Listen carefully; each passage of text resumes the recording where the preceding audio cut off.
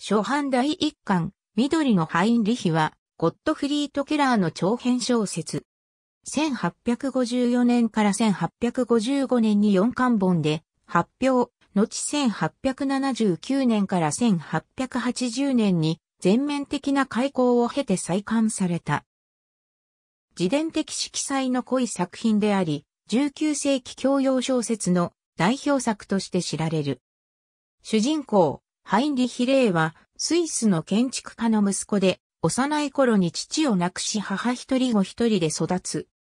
父の緑色の服の仕立て直しばかり着ていたため、緑のハインリヒのあだ名で呼ばれた。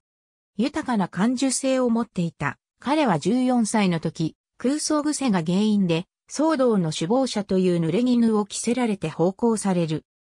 叔父の家に預けられた。彼は、独学のうちに、絵の才能に目覚めて、風景画家を志すようになるが、自身の資質に迷い、また同い年の娘アンナ、美しい未亡人、ユーディトへの愛に対しても一歩を踏み出すことができない。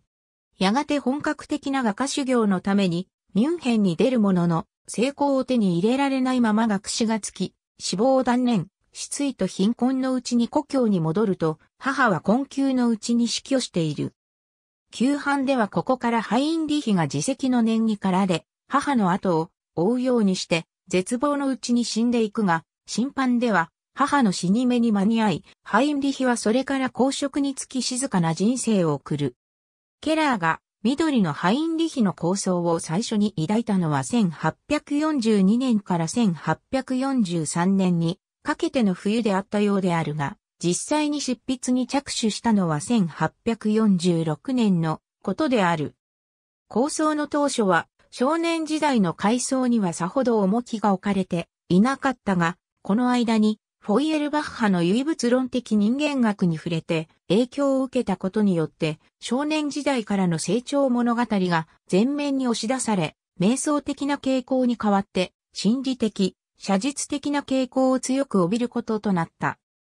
画業に対する挫折、成功しなかった恋愛体験など、内容はケラーの人生を強く反映したものとなっている。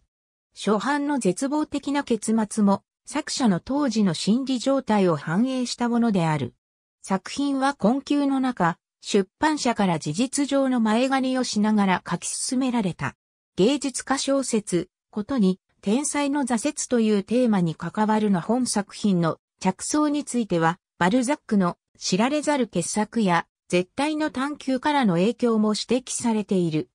加えてケラーはジャン・パウルを私縮しており、初版の作品構成はジャン・パウルが美学入門で説いている読者にまず成長過程の転換点に立っている主人公を示すという技法に沿い、結末に近い部分が書き出しに置かれていた。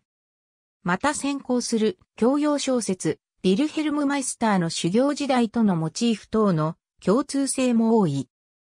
1870年代になって文学史家ヘルマン・ヘッドナーや評論家エミール・クーラによって進められたこともあって改作が進められ、ケラーが中政府の初期職を15年間務めた後になって開口版が書き上げられた。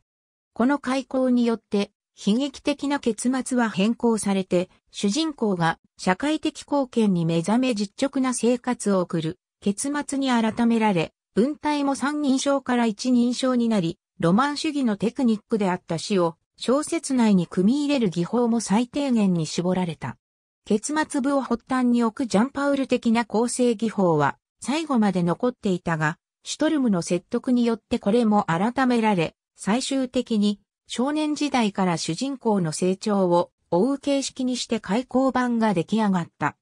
1993年、スイス、フランス、ドイツの3カ国共同制作、トーマス・ケーファー監督により映画化された日本未公開。ありがとうございます。